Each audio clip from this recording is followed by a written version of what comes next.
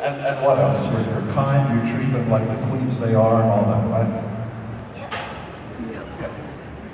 Okay. Should I take you down or should mom? That is Thanks, so Mom. cute. Oh my gosh, so cute.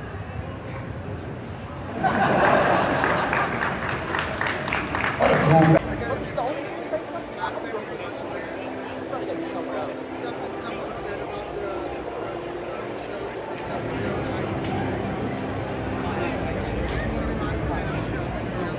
guy.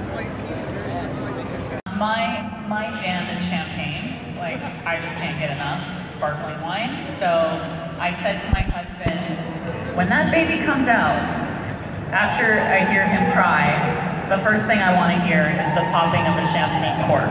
Yes. And that's exactly what happened. He's like, Pop! and and we had a glass of champagne. Me and the nurses, my midwife, we were all like, cheers! and great at like two in the morning or whatever time we did this thing which is, is kind of uh, it's, it's legendary.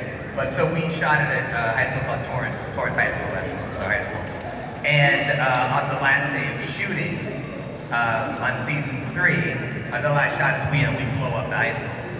Um, so you're supposed to get uh, permission to do that. You know, you're supposed to call the police and everybody, the fire department. So it's about 5 a.m. We didn't get that permission because we knew that we weren't coming back to Torrance ever again. So at 5 a.m. they blow up like 20 of these like huge explosives, and all hell breaks loose. Yeah, like fire department. Like, Hi there. Yeah, I don't know.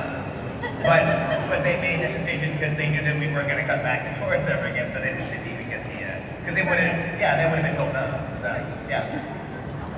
That's how far the shot.